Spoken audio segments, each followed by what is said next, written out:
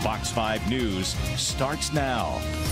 Tense moments in court today surrounding the custody battle that ended in a deadly shooting inside a Summerlin law office last week. The ex husband, Dylan Houston, is facing the family of his ex wife, Ashley Prince, for the first time since police say his father killed Ashley and her new husband. This all happened last Monday during a deposition hearing in Summerlin, where Houston's father shot and killed Ashley and Dennis Prince.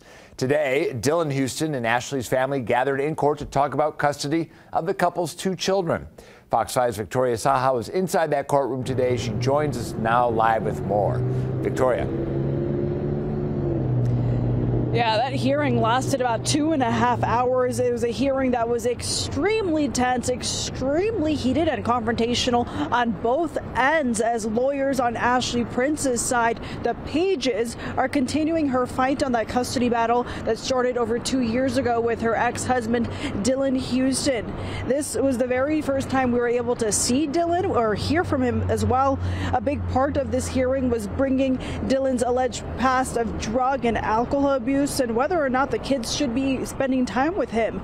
In court, we also found out from the pages that um, the pages attorney that Metro is pursuing an investigation into whether or not Dylan had any prior knowledge about his dad killing his ex-wife Ashley Prince and Dennis.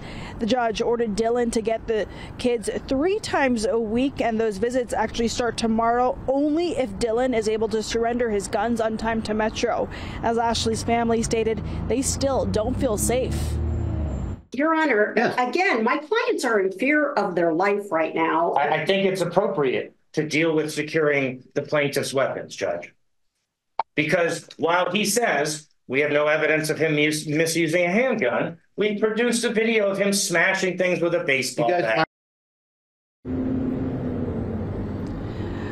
I do want to point out that surrendering the weapons was originally a discussion from both ends to see if both ends would um, give up their weapons during all this, but then the judge ultimately said it would have to be Dylan who would have to surrender his weapons to Metro. I also want to add that Dylan had full support on his side. His family was there, his two sisters were there as well. One of those sisters now has been ordered to be the supervisor when Dylan um, is able to visit with his kids, and those visits actually start tomorrow only if those weapons are out of the house.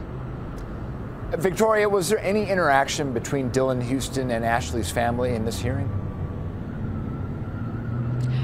No interaction, but John, it was tense. You can feel it. I think we all felt it.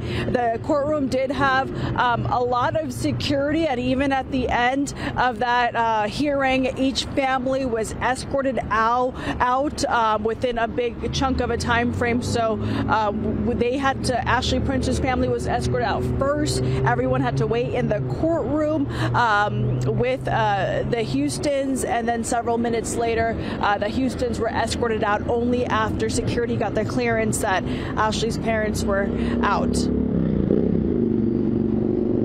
Victoria, thank you. And the hearing comes just a day after Ashley's new husband, attorney Dennis Prince, who was also killed in the shooting, was laid to rest.